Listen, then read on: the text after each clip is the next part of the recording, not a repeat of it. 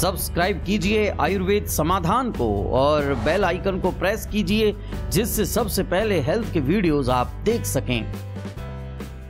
आयुर्वेद समाधान में आज हम आपको शर्तिया चश्मा उतारने का तरीका बता रहे हैं। आप कहेंगे कि, भाई, ये कैसे हो सकता है? दरअसल दोस्तों, आजकल की जो भागदौड़ भरी ज़िंदगी है, उसमें तनाव इतना ज़्यादा घर कर गया है कि उसका सीधा असर हमारी आँखों पर पड़ने लगा है।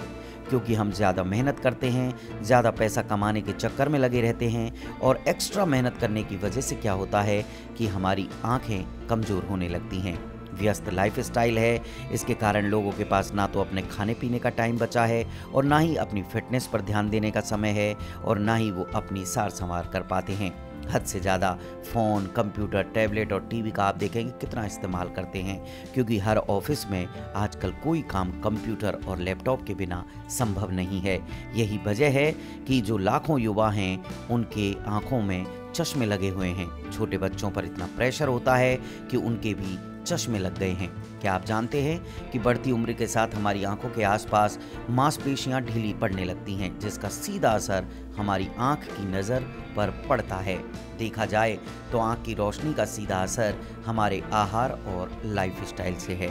आज हम आपको हमारे वीडियो में बताएँगे आँखों की रोशनी बढ़ाने के कुछ आसान से कारगर नुस्खे। साथ ही हम आपको बताएँगे कि क्या आपको करना है और क्या आपको नहीं करना है, जिससे आपकी आँखें ठीक रहें और आँखें खराब नहीं हों।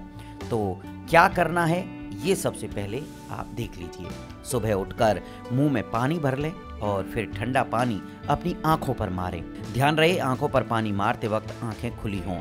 ऐसा करने से हमारी आँखों को बहुत फ़ायदा मिलता है। रोज सुबह हरी घास पर 15 से 20 मिनट तक नंगे पाँव चलना चाहिए।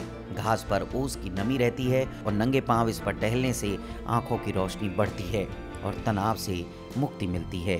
पैरों के तलवे पर सरसों के तेल की मालिश करने से आँखों को गजब का फ़ायदा मिलता है। साथ ही नहाने से पहले पैर के अंगूठे को सरसों के तेल में तर करने से भी आँखों को बहुत लाभ मिलता है। पालक, हरी सब्ज़ियाँ और पत्तेदार सब्ज़ियाँ और पीले फल खाएँ।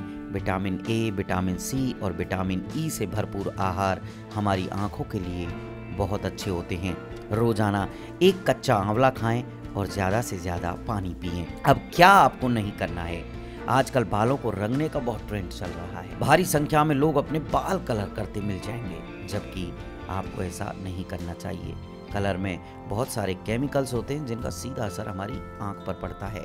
कंप्यूटर के आगे बिना चश्मा लगाए बैठने से हमारी आँखों को काफ़ी नुकसान होता है, इसलिए जब भी सिस्टम पर बैठें, हल्के ग्लास का चश्मा लगाएँ।